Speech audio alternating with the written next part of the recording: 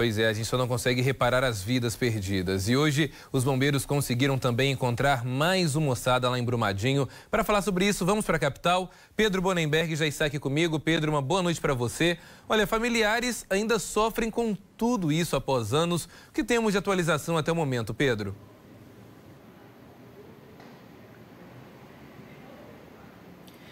Pois é, Elias, boa noite para você, para quem nos acompanha.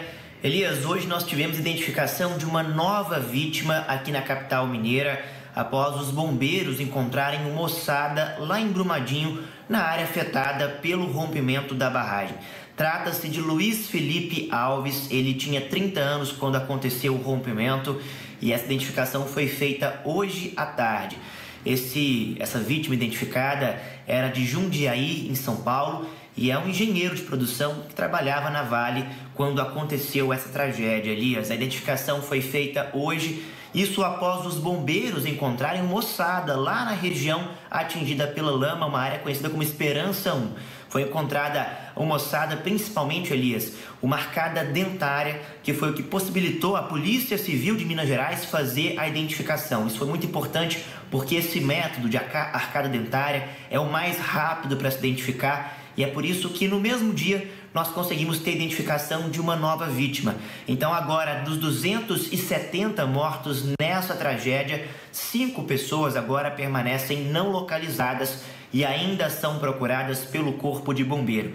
Essa operação, que é a maior da história, Elias, já são quase 1.200 dias, mais de três anos de buscas para tentar encontrar essas pessoas, dá um ciclo, né, um fim do ciclo para essas famílias. Essa localização é importantíssima para as pessoas que aguardam por um ponto final nessa história que é tão dolorida para a comunidade de Brumadinho e para toda Minas Gerais, é claro.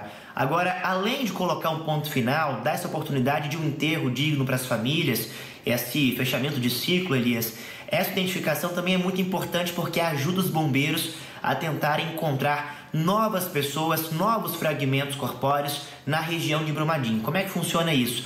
Isso porque os bombeiros possuem um modelo matemático para fazer essas buscas. Então, a partir de dados que eles tinham ali naquela operação sobre quem estava com quem no dia do rompimento, em qual local, eles conseguem fazer um traçado com cálculos matemáticos para estimar onde novas pessoas podem estar. Então, além de colocar um ciclo, um ponto final nesse ciclo para essa família do Luiz Felipe, essa nova identificação feita hoje também reaquece a esperança das cinco famílias que ainda aguardam a identificação, porque essa nova identificação pode contribuir para essa uh, localização de outras pessoas. Portanto, as operações seguem em Brumadinho, não tem previsão de finalizar. Segundo o governo do estado, só vão acabar quando todas essas vítimas forem encontradas. E é isso que as, as famílias esperam, é claro, estão aí nessa expectativa e agora com essa esperança após essa localização.